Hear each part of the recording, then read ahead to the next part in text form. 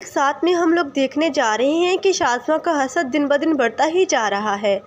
پہلے تو صرف عفان اور مہرین کی زندگی میں آگ لگا رہی تھی، اب تو دائم کی زندگی بھی الٹ پلٹ کر دے گی، اس کی شادی اس لڑکی سے نہیں ہونے دے گی۔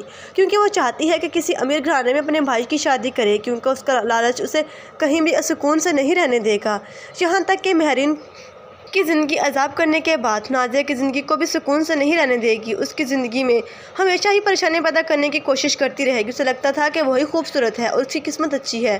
باقی سب تو ایسے ہی ہیں، لیکن اب جب دوسروں کو خوش دیکھ رہی ہے تو اسے یہ برداشت نہیں ہو رہا۔ یہاں تک کہ ذیشان اسے اتنی محبت کرتا ہے، اس کی محبت اسے نظر آ ہی نہیں رہی۔ اپنی حسد کی آگ میں اپنا گھر خود ہی خراب کر لے گی۔ آپ لوگوں کو یہ ڈرامہ کیسا لگ رہا ہے؟ کس کی ایکٹنگ اچھی لگ رہی ہے؟ اور کون کون ڈرامے کی ہیپی اینڈنگ چاہتا ہے؟ کمنٹ کر کے اپنی قیمتی رائے سے میں لازمی آگاہ کیجیے گا۔ مزید ڈرامہ ریویوز کے لیے ہمارے چینل کو سبسکرائب کر لیں اور ساتھ میں موجود بیل کو دبا لیجیے تاکہ ہمارے چینل پر چلنے والی ہر نئی اپڈیٹ کا نوٹیفیکیشن آپ کو بآسانی اور وقت پر ملتا رہے۔